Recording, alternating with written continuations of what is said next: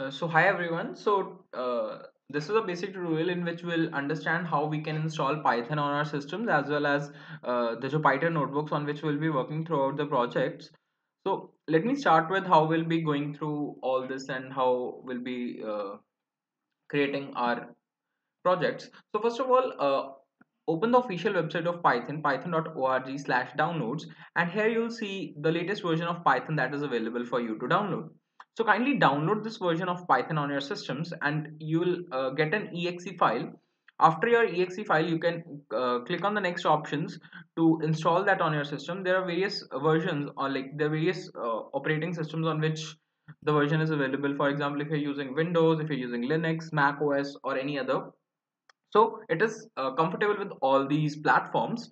After uh, Python is installed on your system, then you can open the command prompt just to check which version of python is uh, there on your system. And you can also see its availability. So when we click on python so here you can see that i can see it's python 3.7.3 that is installed on my system right?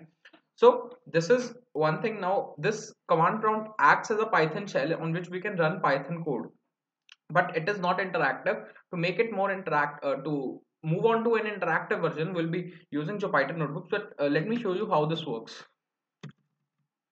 So I'll be uh, simply uh, writing very simple code of printing hello world. That is the most basic program of all the languages. So here you can see it's hello world is written.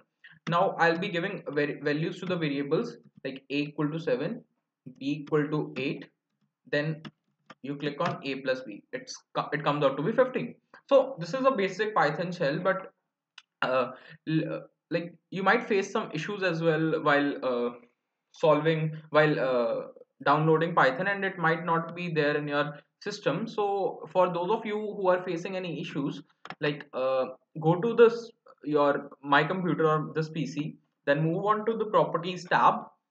We'll see on the environmental variables that are available right? So here move on to advanced system settings. Uh, then click on environment variables. Here you can see the path.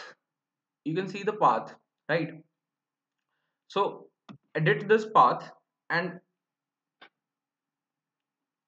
as you can see that I already have uh, local then programs in Python and Python 37, 32 scripts and local programs Python. So these files should not be missing if these files are missing then it can create a problem so you you have to uh, write like uh, copy and copy the same path and paste it here. Like if you click on edit like any option you can go to and click on edit. And you can change your own path according to your own pc right?